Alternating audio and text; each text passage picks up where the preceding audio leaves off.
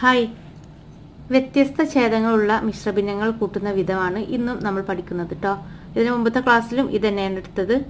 പക്ഷേ ഇത് പ്രാക്ടീസ് ചെയ്യാൻ വേണ്ടിയിട്ടാണ് ഓരോ ചോദ്യങ്ങളായിട്ട് ഓരോ ദിവസം വരുന്നത്. ഇതിൽ ഛേദങ്ങളുണ്ടോ? ആറ് അഞ്ച് രണ്ട്. മൂന്നും വ്യത്യസ്തമാണ്. അപ്പോൾ ഇതെങ്ങനെ ചെയ്യുന്നത് നോക്കാം. അപ്പോൾ ഇതിന്റെ ബേസിക് ആയിട്ടുള്ള കാര്യം എന്താ? നാല് അഞ്ച് ബൈ ആറിന് നമുക്ക് എങ്ങനെ എഴുതാം? നാല് അഞ്ച് ബൈ ആറിന് നാല് പ്ലസ് അഞ്ച് ബൈ ആറ്. രണ്ട് നാല് ബൈ അഞ്ചിന് രണ്ട് പ്ലസ് നാല് ബൈ അഞ്ച്.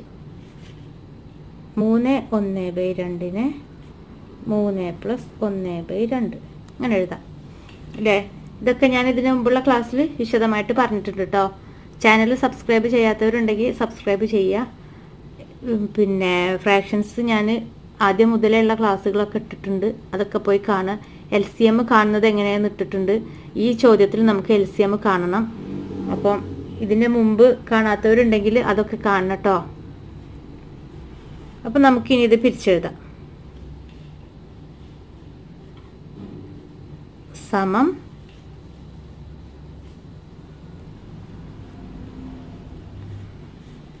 നാല് പ്ലസ് അഞ്ച് ബൈ ആറ്. ഇതിനെ പിരിച്ചെഴുതി ഈ പ്ലസ് ഇട്ടെടുത്തു. രണ്ട് പ്ലസ് നാല് ബൈ അഞ്ച്. ഈ പ്ലസ് ഇട്ടെടുത്തു. ഇതാ ഇനി മൂന്ന് ഒന്ന് ബൈ രണ്ടിന് മൂന്ന് പ്ലസ് ഒന്ന് ബൈ രണ്ട്. സമം ഈ മൂന്ന് പൂർണസംഖ്യകളും ഒരുമിച്ച് എഴുതും. നാല് പ്ലസ് രണ്ട് പ്ലസ് മൂന്ന് പ്ലസ് ഒരു ബ്രാക്കറ്റ് ഓപ്പൺ ചെയ്തിട്ട് ഈ മൂന്ന് ഭിന്നസംഖ്യകളും ഒരുമിച്ച് എഴുതും. അഞ്ച് ബൈ ആറ് പ്ലസ് നാല് ബൈ അഞ്ച് പ്ലസ് ഒന്ന് ബൈ രണ്ട്. സമം നാലും രണ്ടും ആറ് ഇത് മൂന്നും കൂട്ടണം കേട്ടോ. നാലും രണ്ടും ആറ് ആറും മൂന്നും ഒമ്പത്. ഒമ്പത് പ്ലസ് അഞ്ച് ബൈ ആറ് പ്ലസ് നാല് ബൈ അഞ്ച് പ്ലസ് ഒന്ന് ബൈ രണ്ട്. ഇനി ഈ മൂന്ന് ഭിന്നസംഖ്യകളും കൂടെ കൂട്ടണം. അത് കൂട്ടണം എന്നുണ്ടെങ്കിൽ എന്ത് ചെയ്യണം? ഒന്നുകിൽ ഛേദം തുല്യമായിരിക്കണം. അപ്പോൾ നമുക്ക് ഛേദം അതുപോലെ എഴുതി നേരെ കൂട്ടാം അംശങ്ങൾ.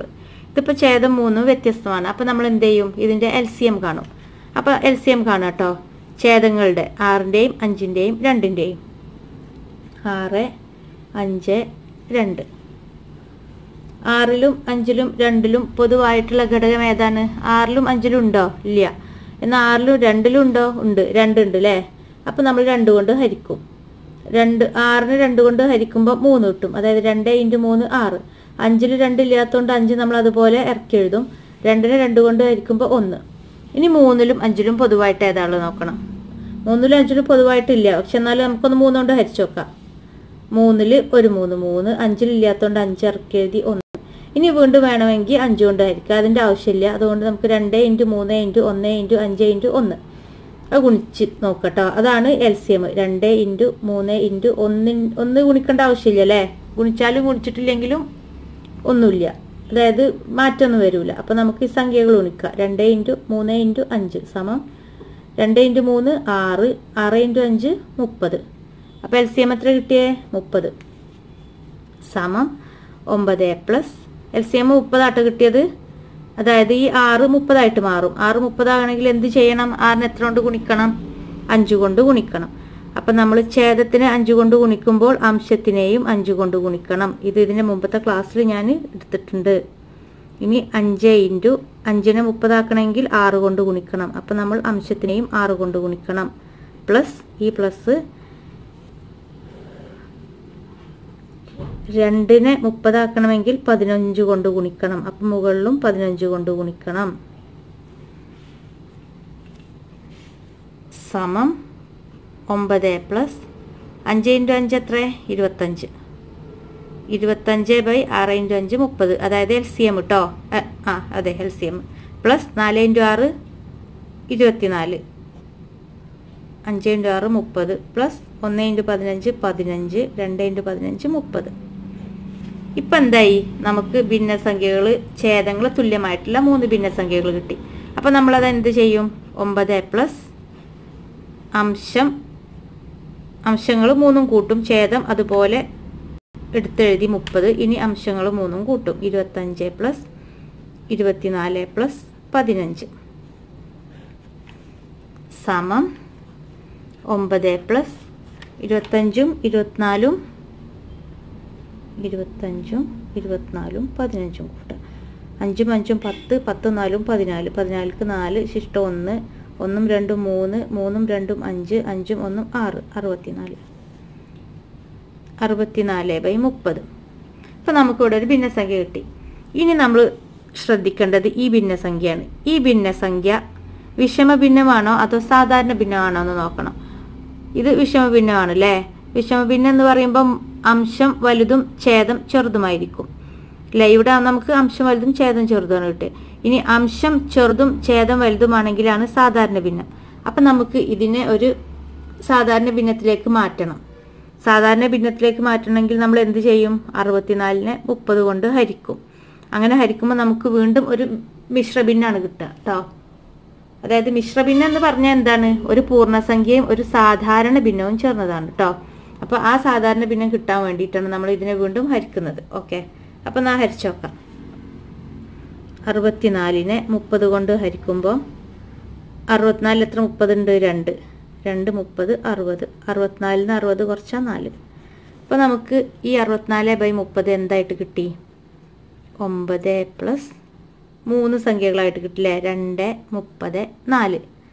അപ്പോൾ എങ്ങനെയാണ് നമ്മൾ പഠിച്ചത്? മിശ്രഭിന്നാക്കി എഴുതാൻ. ഈ മൂന്ന് സംഖ്യകളാകുമ്പോൾ നമുക്കിതിനെ മിശ്രമിനാക്കിയിട്ട് എഴുതാം. ഈ രണ്ടിനെ പൂർണസംഖ്യ ആക്കിയിട്ട് എഴുതും ഈ മുപ്പതിനെ എന്താക്കിയിട്ട് എഴുതും?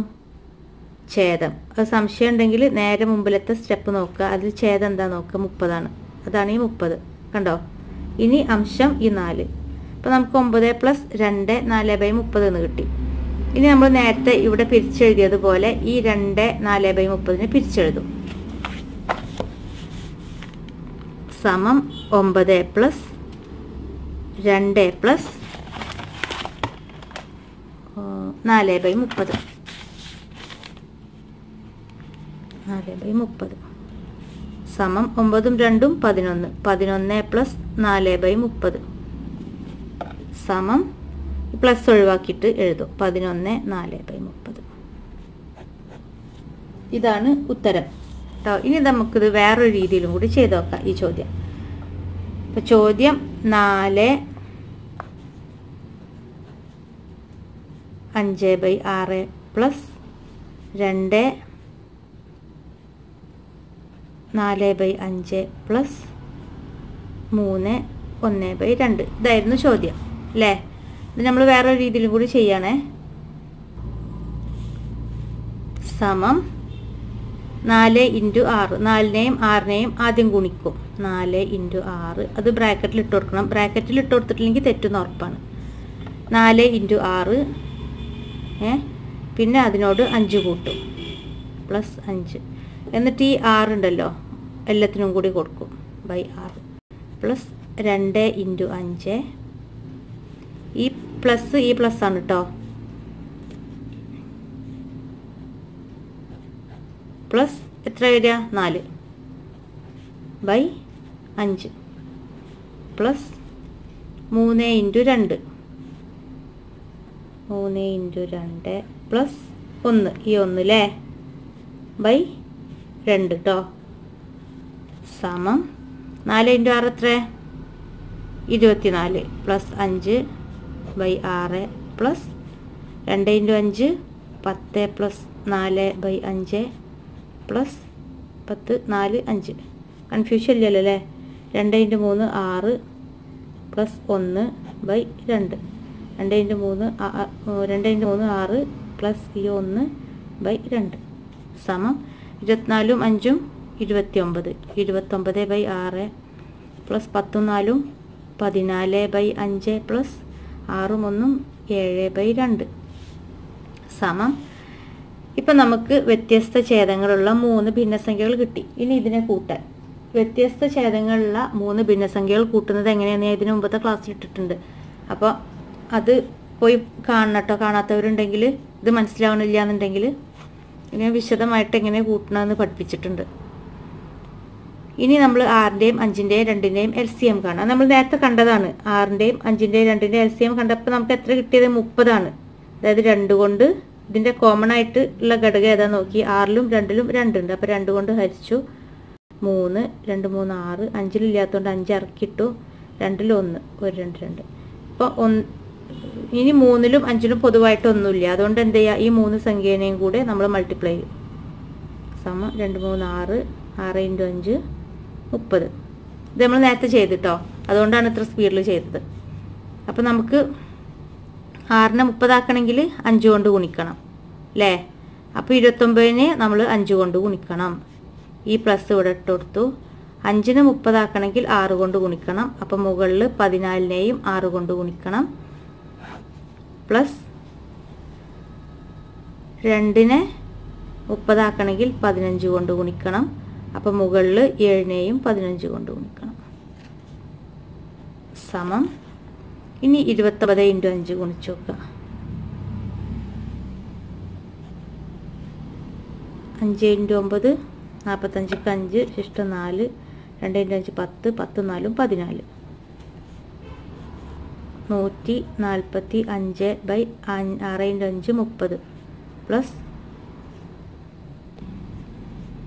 മുപ്പത്. പതിനാല് ഇന്റു ആറിന് പതിനാല് ഇന്റു ആറ്. നാലാറ് ഇരുപത്തിനാലിക്ക് നാല് ശിഷ്ട രണ്ട് ഒരാറ് ആറ് ആറ് രണ്ട് എട്ട് എൺപത്തി നാല് പതിനാലിനെ ആറിനെ ഗുണിച്ചു എൺപത്തിനാല് കിട്ടി. പ്ലസ് ഏഴ് ഇന്റു പതിനഞ്ച് ഗുണിച്ച് നോക്കാം. പതിനഞ്ച് ഇന്റു ഏഴ്. അഞ്ചേഴ് മുപ്പത്തഞ്ചിക്ക് അഞ്ച് ശിഷ്ടം മൂന്ന് ഒരേഴ് ഏഴ് ഏഴ് മൂന്ന് പത്ത് നൂറ്റിയഞ്ച്. നൂറ്റിയഞ്ച് ബൈ മുപ്പത്. അപ്പം നമുക്ക് എങ്ങനെ കിട്ടി? മൂന്ന് ഛേദങ്ങളും തുല്യമായി കിട്ടി കിട്ടിയില്ലേ? മുപ്പത്. അപ്പം നമ്മളത് നേരെ എഴുതി ഇനി അംശങ്ങൾ തമ്മിൽ കൂട്ടുക. നൂറ്റി നാൽപ്പത്തഞ്ച് പ്ലസ് എൺപത്തി നാല് പ്ലസ് നൂറ്റി അഞ്ച് കൂട്ടിയൊക്കെ. കേട്ടോ ഇവിടെ കൂട്ടിയൊക്കെ നൂറ്റിയഞ്ച് ഇവിടെ ഉണ്ട്. പിന്നെ നൂറ്റി നാൽപ്പത്തഞ്ച് എൺപത്തി നാല് അഞ്ചും അഞ്ചും പത്ത് പത്തും നാലും പതിനാല് ശിഷ്ടം ഒന്ന് ഒന്ന് നാലും അഞ്ച് അഞ്ചും എട്ടും പതിമൂന്ന് മൂന്ന് ശിഷ്ടം ഒന്ന് രണ്ട് ഇരുന്നൂറ്റി മുപ്പത്തി നാല് സമം ഇരുന്നൂറ്റി അഞ്ചും അഞ്ചും പത്ത് പതിനാല് നാല് ഒന്ന് ഒന്ന് മൂന്ന് മുന്നൂറ്റി മുപ്പത്തി നാലാണ് ഇരുന്നൂറ്റിയല്ല.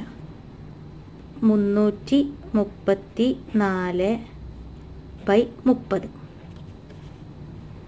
നമുക്കിങ്ങനെ ഒരു വിഷമ ഭിന്നം കിട്ടി. ഇനി നമ്മൾ എന്ത് ചെയ്യണം? ഇതിനെ മിശ്ര ഭിന്നാക്കി മാറ്റണം. അപ്പോൾ നമ്മൾ എന്ത് ചെയ്യും? മുന്നൂറ്റി മുപ്പത്തി നാലിനെ മുപ്പത് കൊണ്ട് ഹരിക്കും. മുകളിൽ വരുന്നത് ഉള്ളിൽ പോവും താഴെ വരുന്നത് പുറത്ത് വരും. ഇതൊക്കെ ഞാൻ വിശദമായിട്ട് വേറെ ഇതിന് മുമ്പത്തെ ക്ലാസ്സിൽ പറഞ്ഞിട്ടുണ്ട് കേട്ടോ അപ്പോൾ മുപ്പത്തി മൂന്നിൽ എത്ര മുപ്പതുണ്ട് ഒന്ന്. ഒരു മുപ്പത് മുപ്പത്. മൂന്നിന്ന് പൂജ്യം കുറച്ചാൽ മൂന്ന്. മൂന്ന് മൂന്ന് കുറച്ചാൽ പൂജ്യം. ഈ നാലിറക്കിയിട്ട് മുപ്പത്തിനാലിലും ഒരു മുപ്പത്. മുപ്പത്. മുപ്പത്തിനാലിന് മുപ്പത് ഓർക്കുമ്പോൾ നാല്. അപ്പോൾ നമുക്ക് മുന്നൂറ്റി മുപ്പത്തിനാല് ബൈ മുപ്പത് എന്തായി കിട്ടി? പതിനൊന്ന് മുപ്പത് നാല് എന്ന് പറയുന്ന മൂന്ന് സംഖ്യകളായി കിട്ടി. ഇതിന് നമ്മൾ എങ്ങനെ എഴുതും? മുകളിൽ വരുന്ന സംഖ്യ പൂർണസംഖ്യ ആയിട്ടും ഈ സംഖ്യ ഛേദമായിട്ടും മുകൾ മുന്നത്തെ സ്റ്റെപ്പ് നോക്കിയാൽ മതി സംശയം ഉണ്ടെങ്കിൽ. പിന്നെ അംശം ആയിട്ട് എന്തെഴുതും ശിഷ്ടം. പതിനൊന്ന് നാല് ബൈ മുപ്പത്. ഉത്തരം കിട്ടി. ഈ ഉത്തരം തന്നെയാണ് അതിനു മുമ്പ് നമുക്ക് കിട്ടിയത്. പതിനൊന്ന് നാല് ബൈ മുപ്പത്. ഇവിടെയും പതിനൊന്ന് നാല് ബൈ മുപ്പത്. അപ്പോൾ ഏത് രീതിയിലാണ് നിങ്ങൾക്ക് എളുപ്പമെന്നുണ്ടെങ്കിൽ അങ്ങനെ ചെയ്യട്ടോ. അപ്പോൾ ഇനി വേറൊരു ചോദ്യമായിട്ട് നമുക്ക് അടുത്ത ക്ലാസ്സിൽ കാണാം. അതുവരെ ബൈ.